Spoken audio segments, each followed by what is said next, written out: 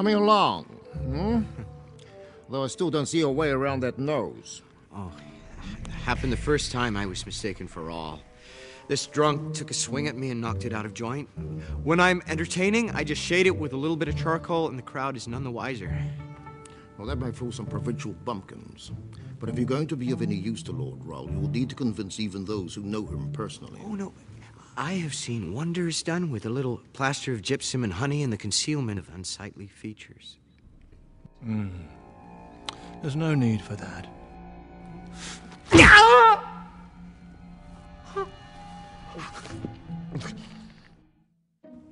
Perfect. Hmm. Still a bit thicker around the middle, though.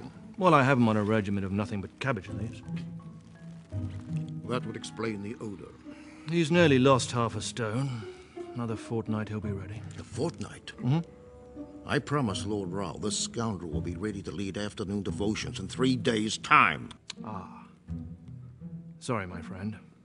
I was hoping it wouldn't have to come to this. Come to what? Bring on the tapeworms!